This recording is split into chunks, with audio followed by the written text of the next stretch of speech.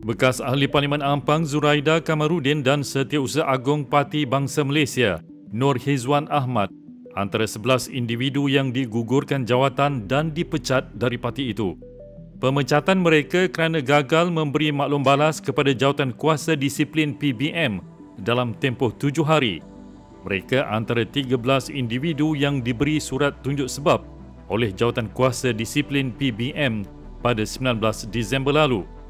Bagaimanapun, PBM hanya memecat timbalan Presiden 1 Haniza Muhammad Talha dan Ketua Wanita Dr. Daroyah Alwi dari jawatan namun mereka berdua masih kekal sebagai ahli biasa.